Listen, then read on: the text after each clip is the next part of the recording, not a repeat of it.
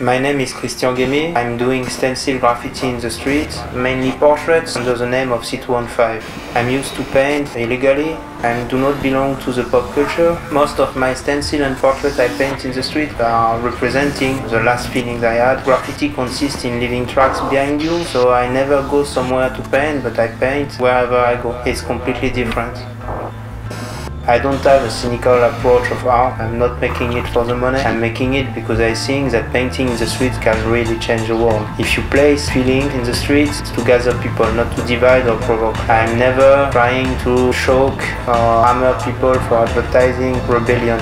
I prefer really the concept of revolution. I mean changing the city. When you gather people around the portrait, you make something really impacting in the world. Most of my subjects are consensual and I have a lot of self-censorship for this because I want that any kid of seven or granny or any person, whatever the social situation or education has, can get the same feelings being placed in front of my portrait. Uh, I'm painting more and more small because I prefer the poetry of small paintings instead of big walls, Very trendy now in the graffiti scene, but a bit fascistic. I prefer the poetry of something small that you can find somewhere, something that if you don't want to see, you can pass by without seeing it.